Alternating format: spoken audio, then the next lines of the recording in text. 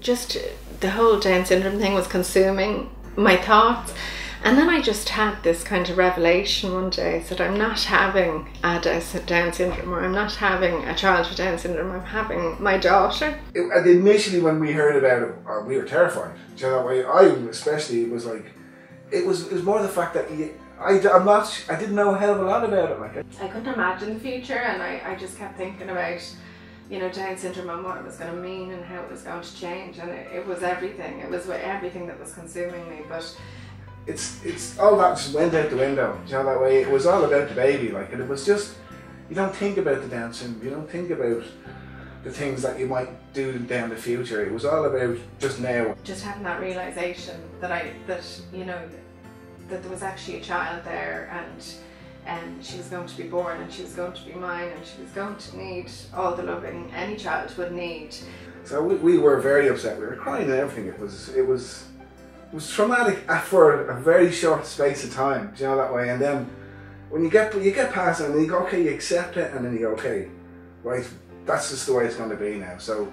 And the fact that she was had Down syndrome wasn't going to define her. I wasn't going to introduce her going, this is my daughter with Down syndrome, the same way I wouldn't say, this is my son with blonde hair. You know, it was just, it was going to be a part of her but it, it didn't need to be the leading story in in any news you know and it wasn't so I kind of made a decision on that day that I was going to introduce her to people and if they noticed that was fine you don't you don't see the person you see or sorry you don't see the syndrome you see the person and especially being your own child like it's it's a sec it really is a secondary thing like I couldn't emphasize that that more like it's all about the child itself and the Down syndrome, it's such a secondary thing. Like it's. It, it, I was, I really didn't want it to be a thing that was going to define who Seána was. Seána was Seána, and she just happens to have Down syndrome, and she she was going to show me the way, um, and I didn't know what that was, but as a, I kind of felt as long as I listened to her and tried not to treat her too differently, that she she would show me the way, um, and she has.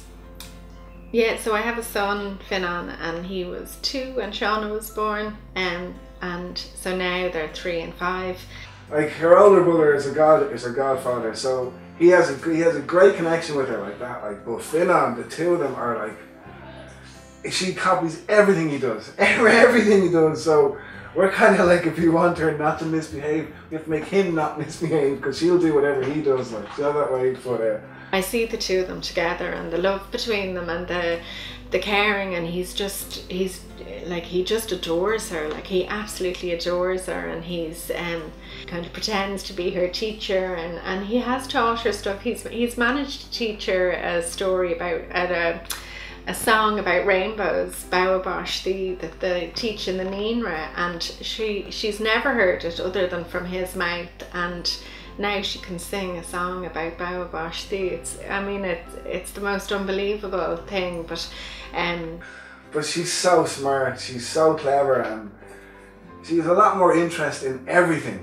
in everything, like absolutely that bag, that that camera, that that doll, that arm, everything will be fascinating to her like and it's it really is the curious mind, and that's what you want the kids to have, really. I think as well. Like. And she captures everyone's hearts when the, the minute they meet her. You know, she just you know, you know, she'll just go give them a hug or a smile, or she'll bring them over a book or a toy, and she just draws people in. She she um she's just so warm and um generous. She's so generous with her time and her heart, you know, and it's just beautiful to to watch her with other people and um, I suppose my hopes for Seána yeah she she's just so caring and she's so bright that you know I think that the world just has to you know find a place for her to deliver that because it's it's just amazing that I that you know I can imagine her working in some sort of nursing role or you know somewhere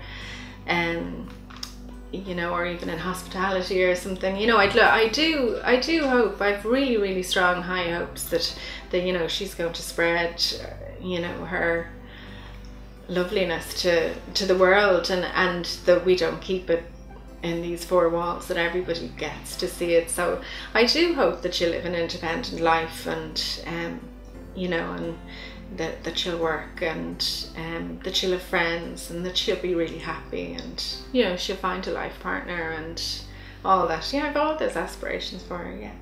Don't panic. Don't panic. It's not the end of the world. It's yeah. I would say you. I don't feel bad that you do feel worried now because it's a natural. It's a natural response. It really does. It's like I. It's it can be so overwhelming that you might think that I can't do this. There's no way I can do this. But you have to trust in yourself. You really can do this without trying as much as you think you need to do.